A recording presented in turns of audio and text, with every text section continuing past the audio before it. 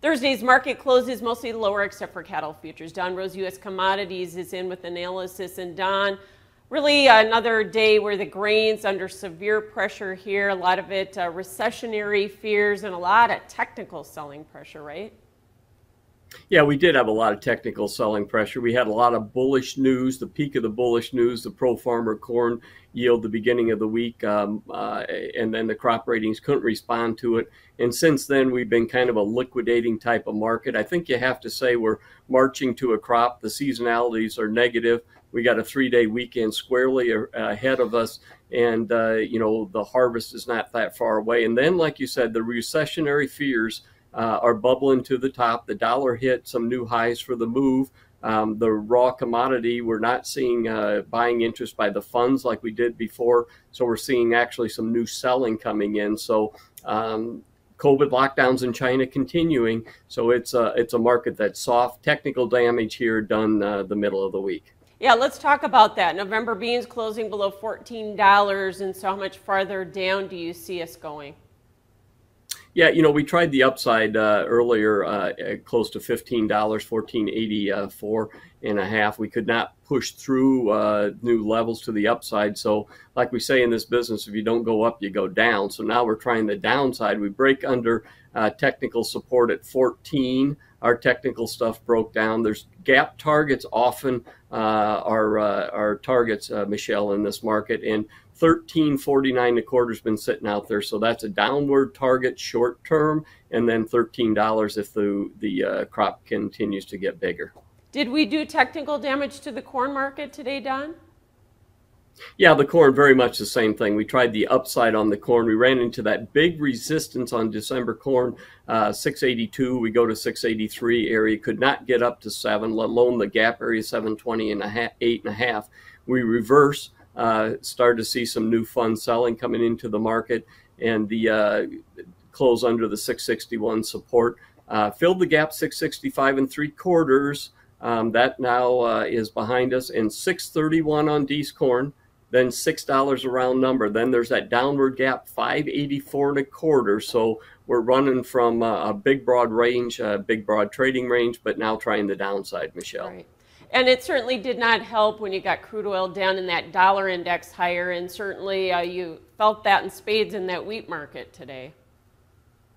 Yeah, the wheat market, you know, it's been in a big, broad trading range, about a 60 cent trading range. Tried to push to the upside, um, just really on some uh, nervousness, um, maybe with Ukraine again uh, bombing at some ports. But you know, really, it was uh, one that couldn't follow through to the upside. Ukraine shipping wheat. Our wheat supplies up north are large. And so we're seeing the liquidation come into the wheat market. We just haven't been able to make any headway uh, up or down.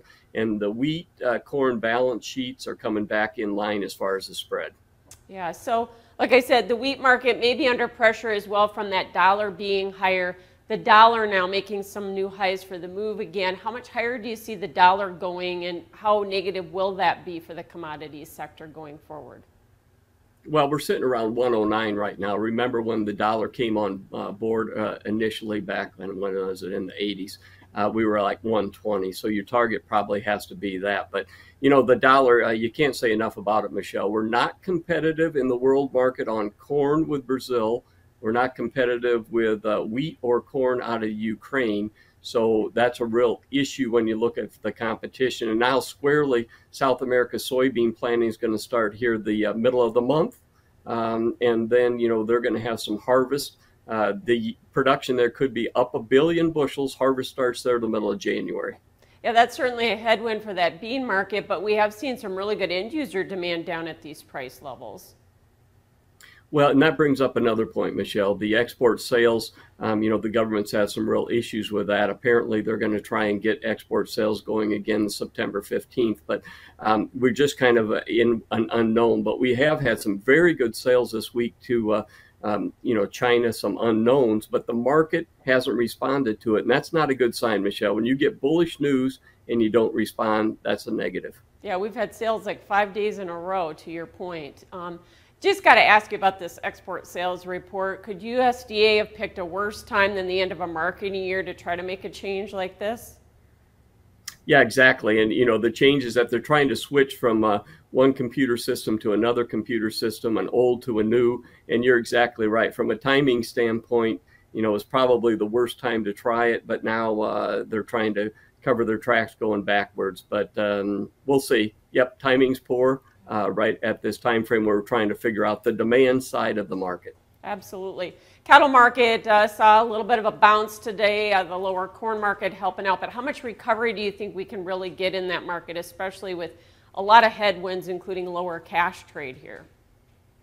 Well, you know, remember this that we've got a cyclical bull market in front of us. That is so well documented. I think, uh, you know, do you know a cattle person that's uh, got a negative bone? You know, we'll see. But um, what's happened to the meat market in general is you put some premiums into the market, feed premiums. So you have to watch a number of things. Watch the uh, break evens, watch if the feed values come down. And then, like we have to, in a recessionary environment, in the olden days, uh, so goes the stock market, so goes the beef demand. So hasn't been the case this summer. In fact, it's been a contra-seasonal strong demand. Um, I think you'd have to say for now, um, the fundamentals are strong and the technicals are going to move back and forth. But we got some premium dialed into the cattle market. Hard to be bearish, but I think it's how much bullishness is dialed into the market, Michelle. And hogs, do you see much more downside risk here? Cash market keeps going lower. Well, seasonality's on hogs. Seasonally, this is the wrong time of year to be friendly on the hog market. The cash market usually scores a high. It looks like it scored a high I think the big problem we have in the hog markets, the discounts just they got record large. At one time, December was uh, thirty dollars a hundredweight below the index. I mean, that's a record large. The normal is about 10 11 dollars this time of year. So uh, the futures market wants to go lower. The cash hasn't come down fast enough, but it feels like we've got more weakness to the downside. Um, you know, some of the technical targets into the mid to low 70s on D's and uh, October. But you know, when you look at the long term on hogs, a lot of buying interest in the next summer months around 90. Okay, thanks for joining us, Don Rose with U.S. Commodities.